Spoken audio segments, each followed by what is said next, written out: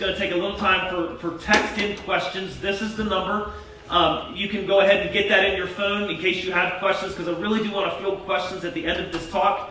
Um, if you send me something stupid, I'm going to read it out loud and say your name.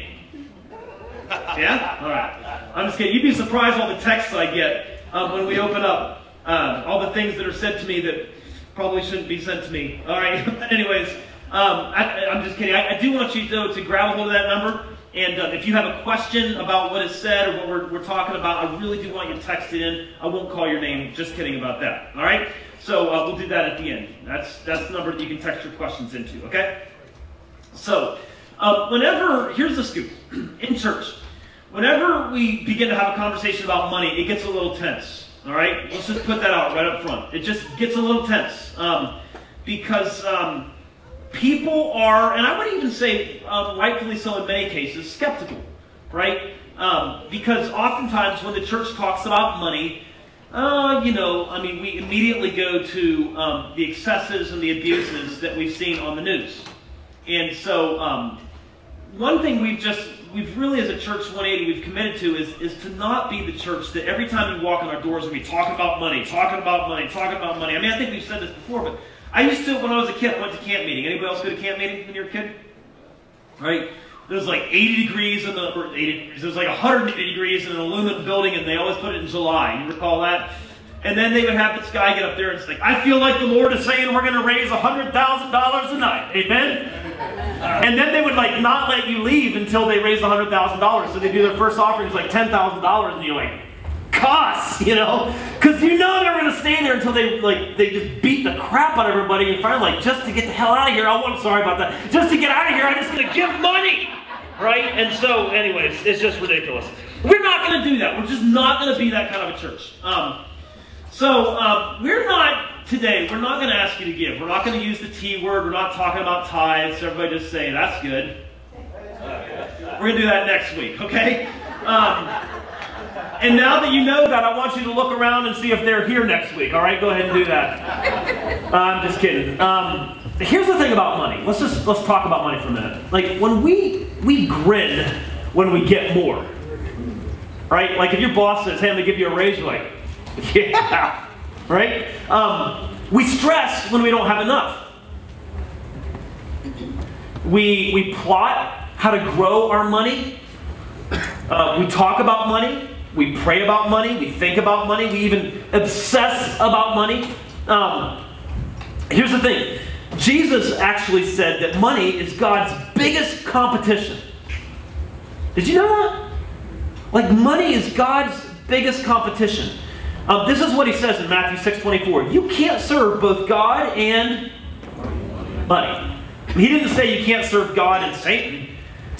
He didn't say you can't serve God and your job. He said you can't serve God and money. And, and let me just think about that. Let me let's throw it out there. Like, what do you be honest? You don't have to say it out loud, but what do you what do you talk about more? What do you think about more? God or money? And, and, and the answer to that, if we're honest with ourselves, the answer to that ought to persuade us that maybe Jesus was right. Money is God's biggest competition for our attention, for our energy, for our passion, for our decisions. Now, all of this that we're saying is, is kind of weird because uh, money doesn't make noise, does it? Have you ever lost a 20? And like you can't find it anywhere? And you really do need that money, but it doesn't make any noise. It lies silent. Um, money doesn't have free will. It can't make decisions. It doesn't have hands. Um, it doesn't speak. Um, I mean, I don't think it does. So I, actually wanted to do something this morning. I have a little bit of money uh, in my pocket, and I wanted to just take a minute, and we're going to do something. Uh, I'm going to use this mic. Um, I'm gonna. I want you guys to be really, really quiet. Apparently they didn't get the signal, all right? Um, which, by the way, I love all that noise over there. You know what that means? It means there's like 30 kids over there having a great time right now, and I like that a lot. But they ought to be quiet so we can hear if money talks. Let's just go ahead and listen.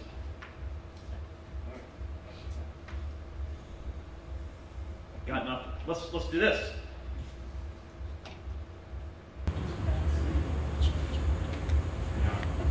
Got nothing. So here's the scoop. Um, some people have said that I'm getting older, and so um, it could be that my hearing's going, right? So here's what I want to do. Um, dude, I completely forget your name. Kyle. Kyle. What's up, Kyle?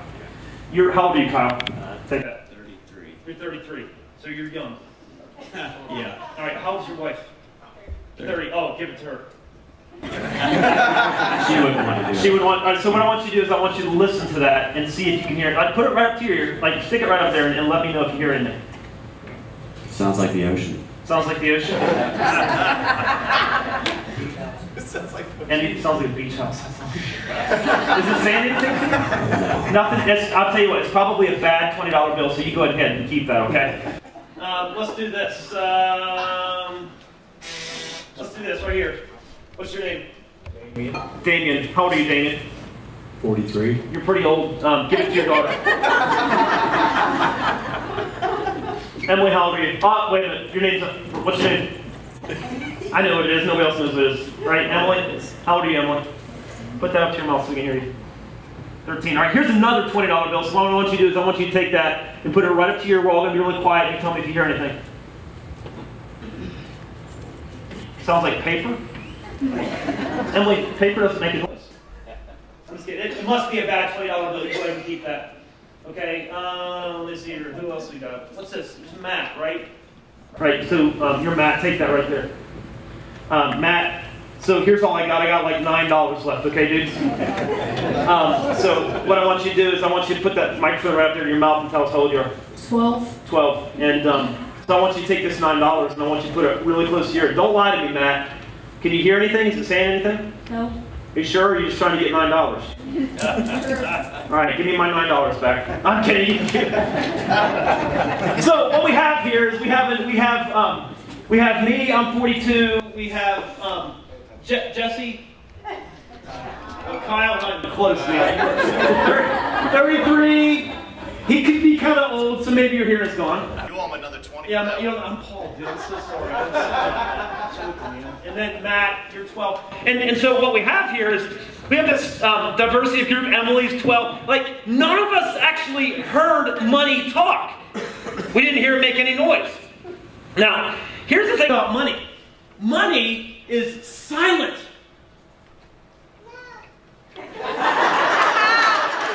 Yes, it is silent until. Are you going to do that again? Are you good? Totally kidding. Money is silent until it is in your hands and then it begins to speak. Money is absolutely silent until it is in your hands and then it begins to talk. Money tells a story once it's in your hand. It tells your story. Now, see, here's the thing. You could not tell anything about Kyle.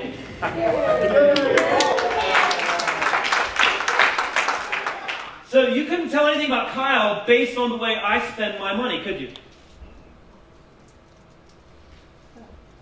But if you watch the way Kyle spends his money, you might be able to tell some things about Kyle because money tells the story.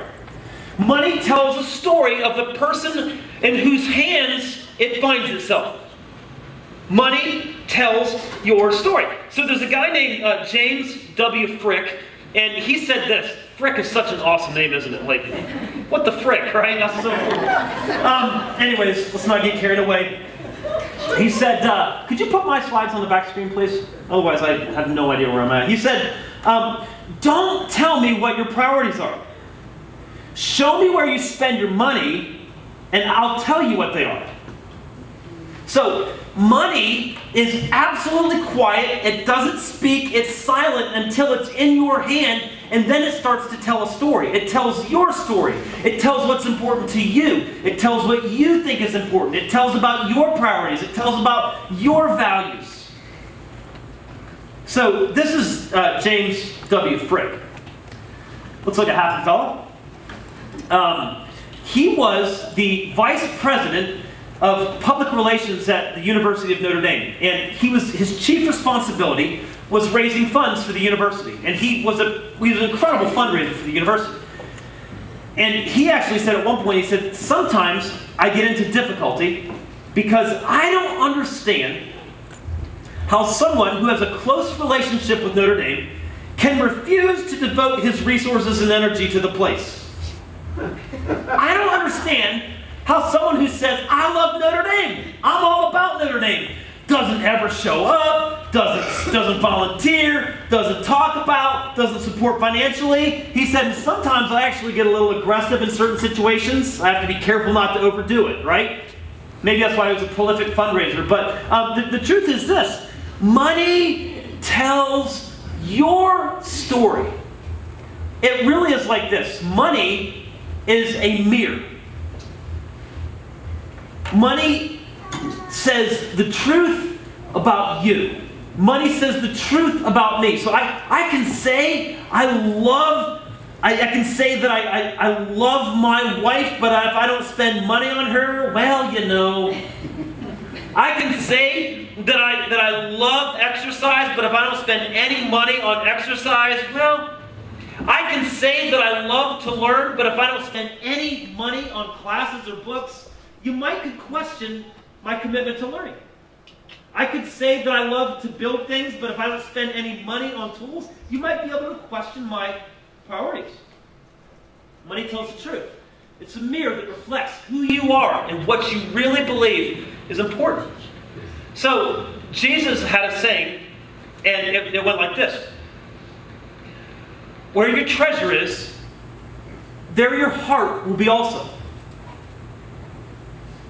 Where your treasure is, there your heart will be also. So we could say it like this Where your money is, there your heart will be also. Or another way to say it would be like this Your money will go where your heart is. So the things that you think are important, your money will eventually find its way there. The things that are priority in your life will eventually have your money. So a while ago, um, I don't know, a couple years ago, I had a guy um, does does not go to this church, so you know don't try to guess who it is. But um, he reached out to me and said, um, "How does a pastor like you um, live in the house that you live in?" Now, I have a nice house, but it's not elaborate, okay? I'm not going to end up on the news for my house. Uh, some of you have been at my house, okay? Um, it's a great house. I love my house. Um, but it's not, you know, it's not anything extraordinary. I live in, a, I just love my house. But um, it is big enough to hold eight people, right? Um, but he just said, how does a pastor like you have a house like that? And at first I got mad. And so I didn't respond immediately. Um, but I began to reflect on it, and we had a conversation that kind of went like this. This is how I choose to spend my money, right? Um, I'm a family of eight, and we have one car. A family of eight, and um, we don't eat out a lot. A family of eight, and our clothing budget is probably significantly less than maybe some of you in, even in this room, right? And it's a decision that we've made. Now, as I began to talk with this guy, I, I pointed out to him, I said, you know, um, I've seen you on social media, and I realized that um, every time you show up on social media, you've got a different hat on, which ironically matches your shoes. and I've noticed that you have headphones that, that cost more than I spend on the entire clothing budget for my family in a handful of months. It's okay. You're a big boy. You can do whatever you want with your money. But your money says what's important to you. Right? So, as we talked about this, I mean, ironically, um, this guy uh, lived in a mobile home with his mom. No joke. Not dogging. Just saying he chose to spend his money on shoes that were more expensive. I probably could have taken his shoe budget and bought shoes for my entire family. Right? No, again, not dogging him. It's just how he chose to spend his money. But the way you spend your money says what's important to you. He prefers shoes over his own place. He preferred expensive headphones over his own freedom. I've said I want a I want a house where my family is, is comfortable and can play and be safe. I prefer that over a brand new or multiple vehicles. It's my choice, right? Nobody's judging anybody. It's just the basic truth that where your money is, there your heart will be also. Money tells a lot about you. So the truth is this. You can spend your money on red shoes, or if you want to, or you could spend them. Welcome to my house. You song? Okay. Because the truth is this your money will go where your heart is. You can tell everything you need to know about yourself by the way you use your money. So, sometimes people have this tendency to think, well, if I got more money, um, I would I would do things differently. I would change. Well, W. W. C. Fields said, a rich man is nothing more than a poor man with money. So the truth is this. This is important. Money doesn't change me. It just liberates me to, to buy what I've always wanted to buy.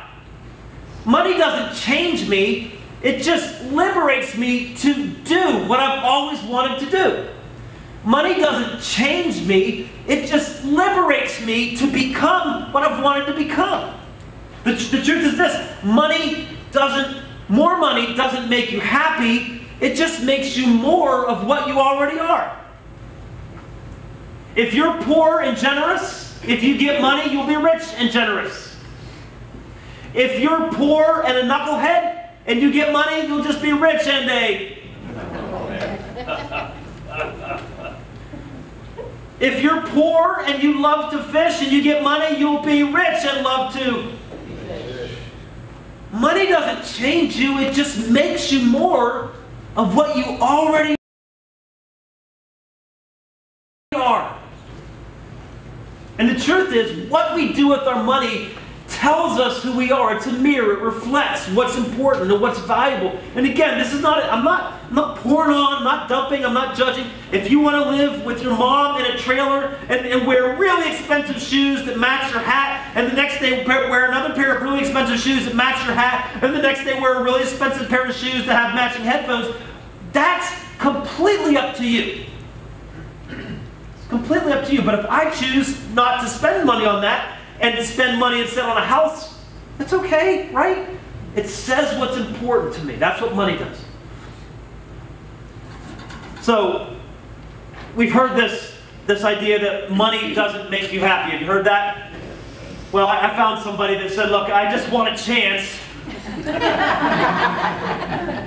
let me just let me just try to prove that theory wrong, right? So here's the truth. Um, money tells your story. It tells the truth about you. A thousand dollars in your hand would tell a different story than a thousand dollars in my hand. So let me just for a minute think about it. If you had a thousand dollars as you walked out of the door today, it's not going to happen by the way. We've given away all the money we're giving away today. But if on the way out of the door today, um, Tater were to give you $1,000, every one of you, Take just a second. How would you spend that? What would you do with that money? You ready? Think about it because I want you just in a second to just tell the person next to you. If you had $1,000 today, what would you do with it? Three, two, one, go.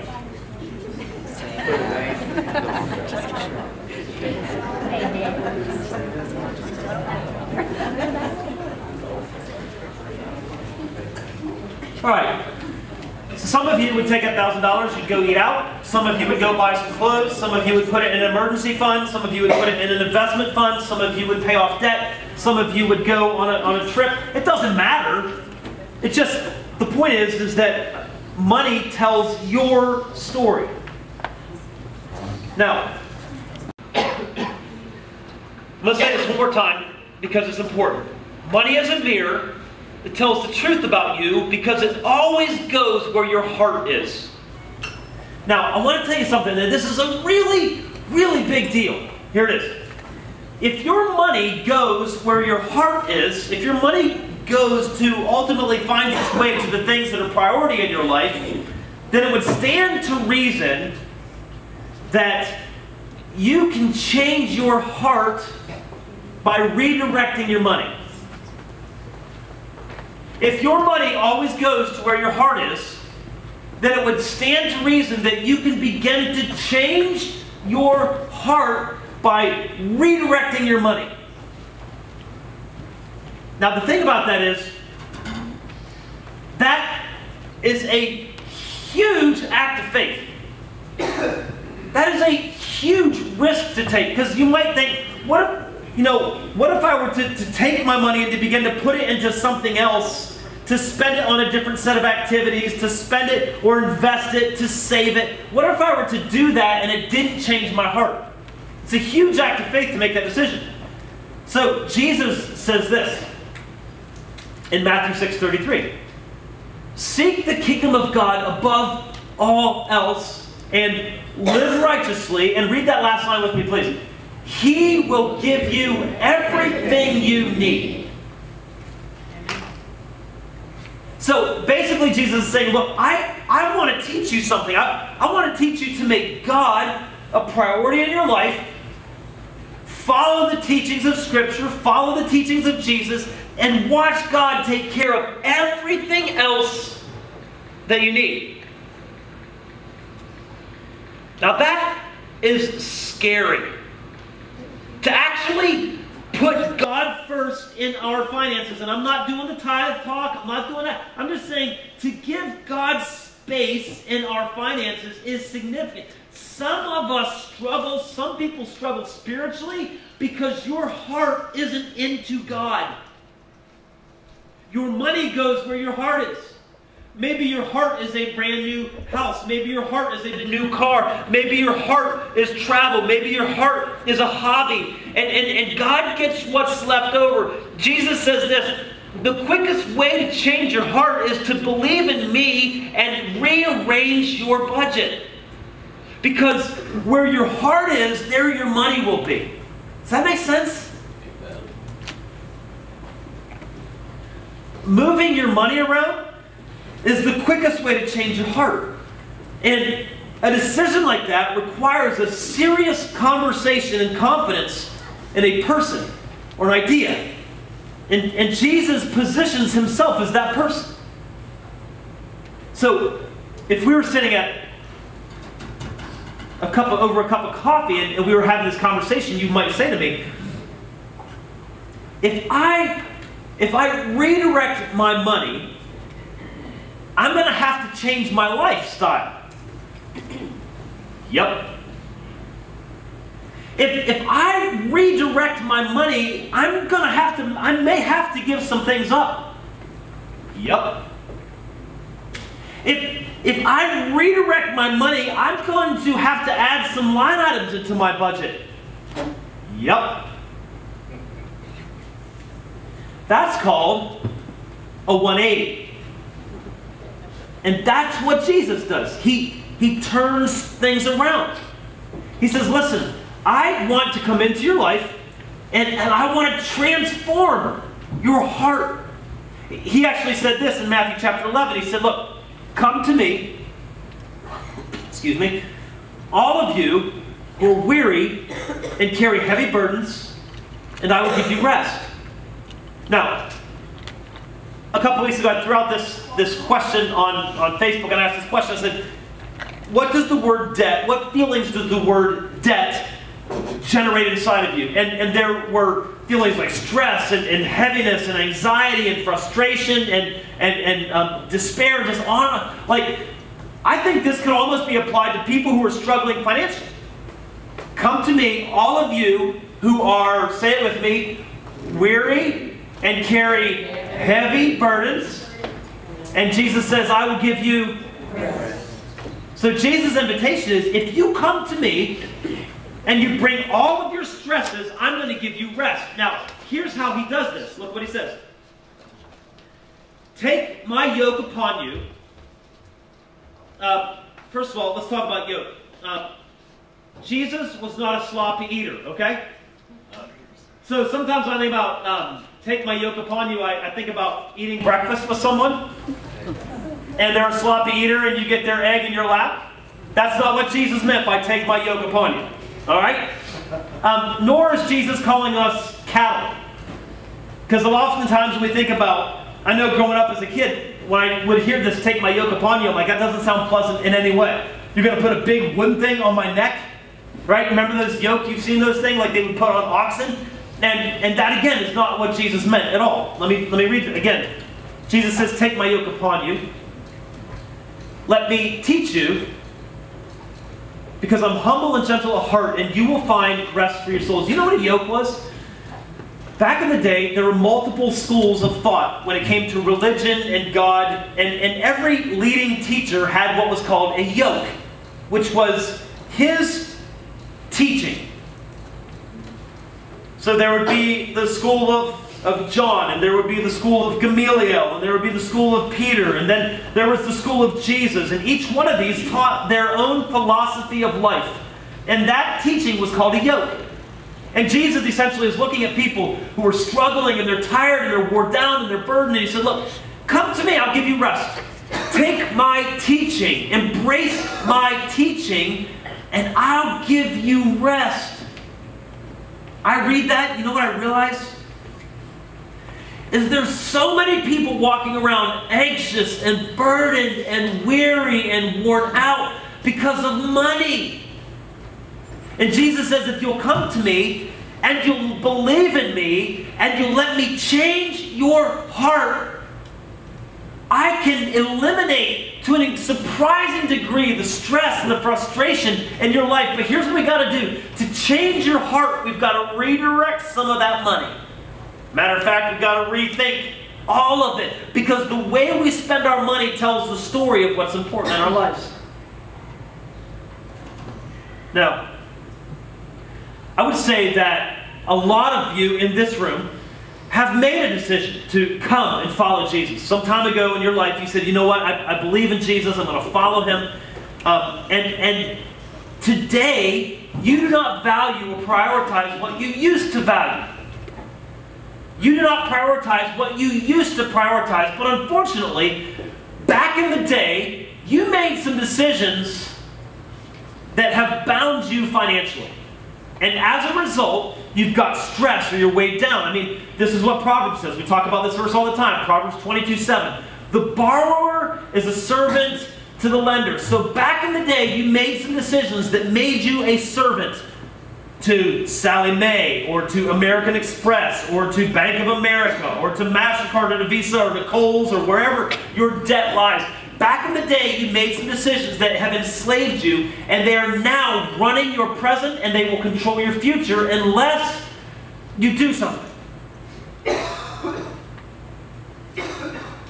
I just want to be a guy, and I want our church to be a church that figures out how to set ourselves free from bad decisions in the past. Is that good? You agree with that? Yes. How do we set ourselves free from bad decisions that we made in the past?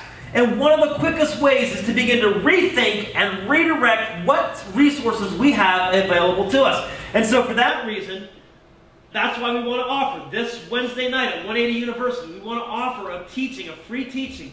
Dave Ramsey teaches and fires us up about how to get out of debt. And you know the principles he uses come straight from God's Word. And I would just encourage you, if you're one of those people that's weary and you're heavy burdened and you're stressed and you're frustrated with the debt, with the financial ugh, in your life, would you please come Wednesday night at 7 o'clock? This will be an inspiration, it'll be encouragement, and you'll find a community of people that are on the same journey as you. Now, we want to be free from the decisions we made in our past. Jesus says, listen, I, I can change your heart if you'll come and you'll follow me and you'll believe me and you'll trust me.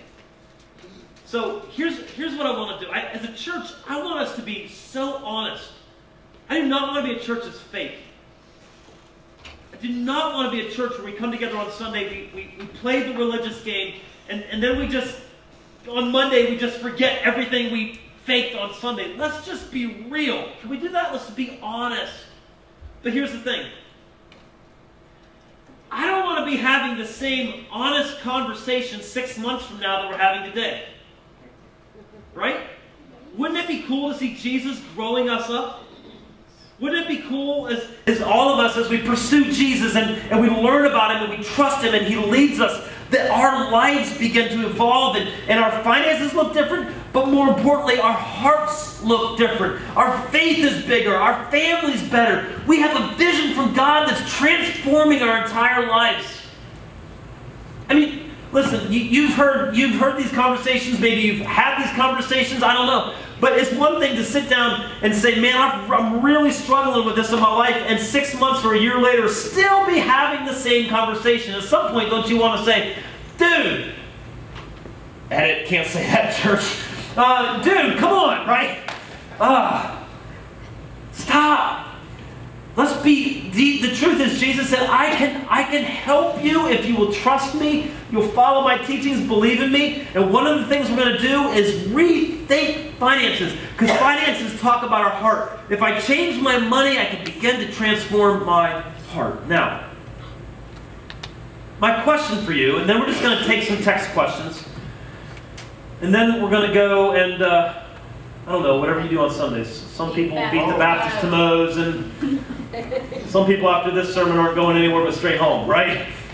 Now, here's my question What does the money mirror say about you?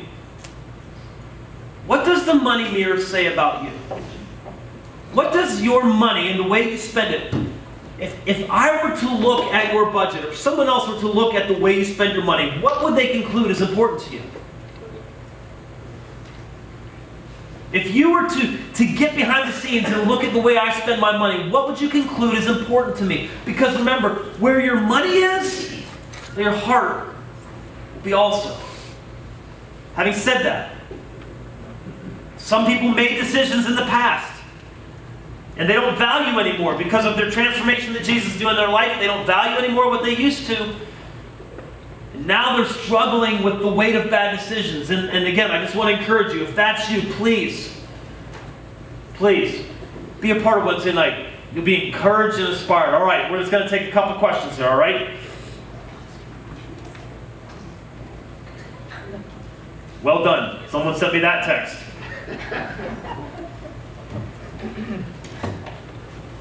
Now, okay, so someone, uh, and I don't, I don't want to argue too much about this. Uh, I'm going to say this. I, someone said, I want to point out that the Fields quote is not at all accurate.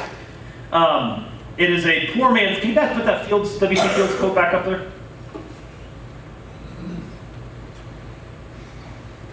It's a poor man's way of looking at money. People who become wealthy and stay wealthy have different habits than those who stay broke. Sure, agree with that right? But I, I, think the point that is being made and the point that he was making, can we? It doesn't make sense until the quote's up there, I guess.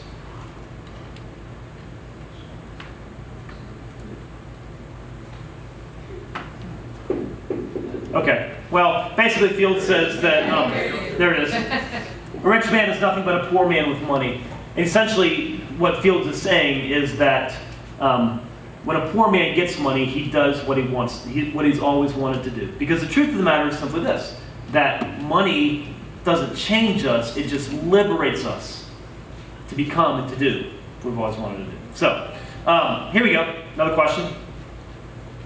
How do you get your family on the same page financially? This is a great question. Or agree to make cuts of those extra items. Hey, I'll just tell you this. Um, this is where uh, long conversations and um, lots of prayer help. Um, getting together. Dave Ramsey, I listen to him, okay? And uh, Ramsey has to field this question all the time. Like, how do I get my husband to do this? How do I get my wife to do this? I mean, some of this stuff um, takes a lot of time, a lot of prayer. Some of it takes just some difficult conversations. Interestingly enough, um, in, in two weeks, we're going to start a series on how Christians do conflict. Because I've noticed that if we're not careful in the church, when there's conflict, we avoid it, or we leave, or we scream and yell and raw and nobody gets better. There is a there is a there is a great way for Christians to handle conflict. We're going to talk about it in two weeks, doing a series called "Let's Get Ready to Rumble." That'll be fun. Um, but the truth is, is getting your family on the same page just takes some time. And um, I would encourage lots of conversations. I would encourage prayer. Um, in addition to uh, participating in Financial Peace University, um, perhaps even some conversations with uh, some mentors would be helpful. So, all right, um, that's it. So here's what I want to do.